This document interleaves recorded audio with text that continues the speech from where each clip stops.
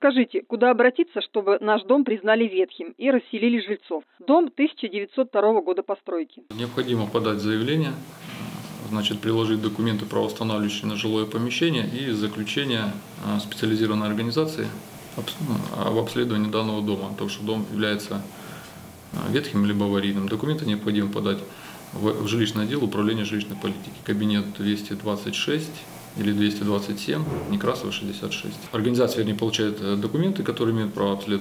проводить такие обследования. Необходимо обратиться в этот отдел и дадут перечень организаций, куда можно обратиться. Это независимые организации, еще раз повторю, которые проводят обследование данных домов.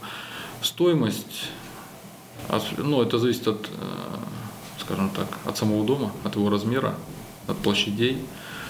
Ну, где-то порядка 8 тысяч. Документы подаются нам в отдел. Комиссия межведомственная рассматривает, выезжает на место, обследование дополнительно проводит и выносит решение о признании данного дома ветхим, аварийным, ну, ветхим либо аварийным, или отказывает в зависимости от того, какие документы уже представлены, насколько это э, действительно так. После этого выносится постановление э, администрации Уссурийского городского округа о признании данного дома ветхим, аварийным и расселении жильцов до какого-то периода.